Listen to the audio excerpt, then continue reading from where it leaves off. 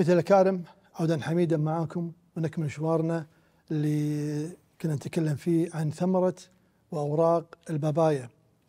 قلنا فيها فوائد كثيرة وقفنا عند حليب البابايا وقلنا حليب البابايا له فوائد مدر للبن المرضع وبكل بساطة نصف الثمرة مع نص كوب حليب يخلطون مع بعض وقليل من حمض الستريك هذا يكون حليب يقدم للمرضع عشان يساعدها في إدرار الحليب. وقلنا حتى حليب البابا هذا زين ممتاز علشان الطحال حفاظ على الطحال وله فوائد كثيرة يعني. آه الثمار. ثمار البابايا أما يستخدم قلنا غير ناضج أو أنه يستخدم ناضج. فإذا كان غير ناضج يستخدم أو يتناولونها وهي غير ناضجة مع السلطات أو حتى مع المرق أو حتى مع اللحم. يعني أنا أشوف في عند الآسيويين أن لما تكون وجبة أو طبخة لحم يحطون معاها البابايا الصفراء اللي مو ناضية يقطعونها معها يقطونها وياها. طبعا بالنهاية راح يكون طعمها وايد حلو ترى بالمرق. بس تخلي اللحم ينضج بسرعة بسرعة عجيبة. عادة اللحم إذا حطيته يعني مثلا ربات البيوت ياخذ له ساعة ونص ساعتين لمن يصير ذايب. يعني أو نحطونه في جدر الضغط خلال 40 دقيقة انتهى الأمر. بس لما يطبخونه مع البابايا يشوفون اللحم بسرعة ينضج. ليش؟ لأنها تكسر اللحم يسمونها كما يعني سلف القول عنها إنها مطرقة البروتين. فهذا من أحد استخداماتها آه لذلك آه وجدوا إن استخداماتها الطبية يعني عظيمة. دخلوها حتى في الصناعات الطبية، يعني بعض أنواع الضمادات ضمادات الحروق وضمادات الجروح داخلة فيها أو في صنعها البابايا.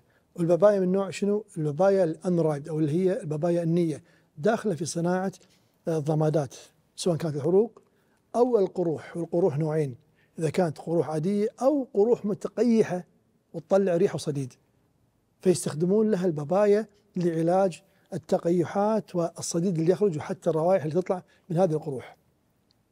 في بعض الناس خصوصا كبار السن اللي أو اللي أصيبوا بالشلل وصاروا طارحين الفراش يعانون من قرحة الفراش. وهذه الأسئلة وايد تتكرر علي وتجيني صور من كل مكان. وأنا حطيت صور لبعض الحالات اللي قدمت لهم مساعدة حطيتهم في حسابي في الإنستغرام أي واحد يقدر يرجع له.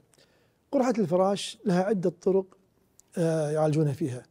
أو يستخدمون الضمادات هذه ضمادات البابايا أو يستخدمون منقوع المرة. وهذه المعلومة بقولها لكم وإن كنا إحنا يعني طلعنا شوي على الموضوع بس سيبنا سيرتها أبي الكل يستفيد.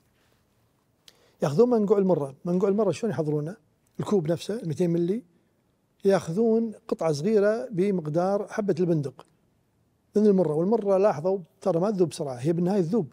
تذوب تماما تماما ما يبقى إلا الشوائب. فيحطونها في الماء الدافي يحركون يحركون يحركون لين تذوب تماما. خرجت تكون نظيفة معقمة يصفون الماء. فوق راح تكون شوائب خشبية وغيرها غيره بس تحت اللي ينزل تكون إيش؟ منقوع مرة صافي تمام. هذا يستخدمونه كغسول اللي معهم قرحة الفراش واللي معهم القدم السكري واللي معهم كذلك الغرغرينة يمسحون الجرح أول شيء بمنقوع المرة بعدين بالقطن ينشفونه يستخدمون بعد ذلك عسل أو عسل سدر أو عسل المنوكة تركيزه 18 Unique Manuka Factor UMF 18 أو 20 تركيزه يا 18 يا 20 لا يزيدون ولا يقلون. في طبقة خفيفة من العسل خفيفة. بعدين يلفون الجرح أو يغطونه بشاش. الشاش هذا أي نوع؟ مو شاش العادي عشان لا يصق على الجلد ويتأذى. المريض اللي تشيله منه. يستخدمون البارافين جوز اللي هو الشاش اللي مطعم أو مدهون بالبرافين بشمع البرافين هذا خاص حق الحروق وحق الجروح. فيحطونه ويلفونه ويغيرون على الضماد كل 24 ساعة. باستخدام منقوع المرة مع العسل مع المتابعة والطبيب راح يشوفون المريض يعني بدا يشوف بوادر الشفاء بس لازم يكون تحت إشراف طبيب لأنه في أي لحظة ممكن تطلع ريحة عفن في اللحم ساعتها لازم تدخل طبي مباشر.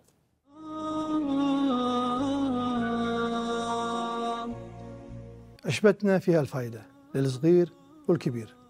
خلونا نتعرف على فوائدها وطرق استخدامها. خلكم معي.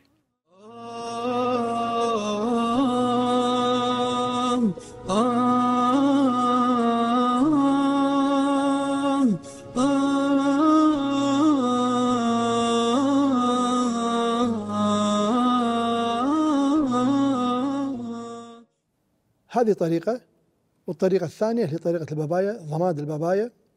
أعتقد بالصيدليات تقدرون تلقونه اللي هو يعني أي شيء مراهم سواء مراهم القروح آه، أو الجروح وهذه تستخدمونها. إذا كانت من تركيبة البابايا تستخدمونها لهذه المناطق. بس هم أقول خلكم مع طبيب واستشيروا الطبيب بهذا الشأن. لا ربما الطبيب عنده برنامج ثاني. لا تخلون أي شيء يتعارض مع برنامج الطبيب الطبيب هو الأولى والطبيب هو اللي له الكلمة الأولى والأخيرة في هذا الشأن. فهذا علشان قرحة الفراش وكذلك للقروح أو الجروح المتقيحة اللي تطلع صديد وتطلع. إذا يعني واحد مثلا وقال لي أنا معاي مثلا غرغرينة ومقررين لي بتر. أحيانا تكون واصل إلى مر إلى مرحلة بدأ العفن وبدأ التلف في الأنسجة هني ما منه فايدة. هني تقول له والله الطبيب اللي يقول لك سوى. إذا الطبيب قال له في مجال يعني تراجعني مثلا بعد آه، أسبوع أو تعالي بعد شهر هني في مجال إنك أنت تسوي أشياء لربما إن أنت تقي نفسك شر البتر. يعني البابايا هذه حتى في الصابون بعض الصوابين وهذه تلقونها في الجمعيات في كل مكان. تشوفون البابايا داخلة في صناعة بعض الصوابين والكريمات. هذه لقوا إن قشور البابايا. شفت البابايا هذه؟ القشر اللي من برا. هذا القشر يعالجون في البشرة يفتحون اللون. ليش؟ لانها هذا القشر في مركبات خاصة وبطريقة خاصة تزيل الجلد الميت. ومجرد ما زالت الجلد الميت من الطبقة اللي فوق يبدأ الجلد الحي وتبدو البشرة كأنها بيضت بواقع أنها شال تخلصوا من القشور أو الخلايا الميتة. فتبدأ الخلايا الحية بعدها وتبدأ البشرة ناصعة البياض متغيرة تماما وتعطي هذا اللمعان. فصوابين البابايا أعتقد يعني منتشرة في كل مكان جربوها وايد زينة كصابون للبشرة فقط. بابايا كذلك غنية بالفيتامين A وكذلك الفيتامين سي وتستخدم يعني كذلك لأنه مشاكل في النظر. أنا لما تكلمت عن قشر البابايا ترى وايد من من الثمار والفواكه كذلك إحنا نتخلص من قشرها. ما نعرف إن الفائدة أصلا في القشر. تعرفون إن في دراسة صارت على البيديان وبالذات على قشر البيديان وايد ناس تقشر البيديان وتقطه وتستخدم يعني أو مثل يشوون البيديانه بعدين يشيلون قشرها ويستخدمونها آه، يعني بدون القشر يسوون منها الدقوس وغيره. تعرفون إن قشر البيديان هذا صارت عليه دراسات وجدوا إن في مادة في مادة تبشر يعني بشاير خير منها ممكن يعني يكون لها دور في القضاء على خلايا السرطان. قشر البيديان فلا تستهينون فيه. تبي تأكلون البيديان اكلوا بقشره لا تقشرونه. وايد أشياء الفائدة تكون بالقشر أكثر من داخل القشر فهذه البابايا القشر مالها نفسه في فوائد طبية. شنو الفوائد الطبية هذه؟ زين حق البشره وايد نساء.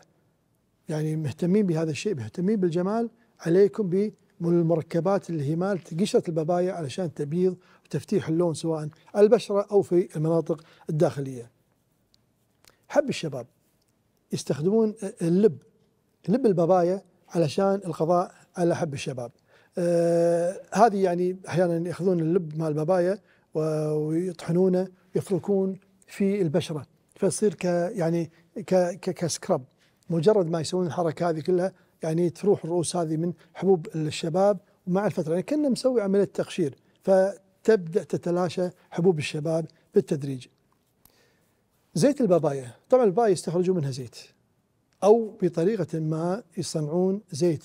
من البابايا للقضاء على هيجان الجلد. أحيانا يكون هيجان الجلد يعني حكة شديدة ومن هذه الأمور هذه كلها فيستخدمون زيت البابايا على هذه الأماكن علشان القضاء على الإكزيما والصدفيه أحيانا يكون هناك جفاف شديد في البشرة. الجف طبعا الإكزيما أنواع أحيانا الإكزيما هذا يكون بسبب جفاف البشرة. أحيانا يجينا فصل الشتاء وإحنا نسميه عندنا هنا بالكويت المشق. لما اليد هذه تبدأ آه، تصير خشنة وتشقق وتبطط وهذه فيستخدمون لها زيت البابايا عشان تنعم تروح منها هذه المشاكل تعود البشرة سليمة وناعمة.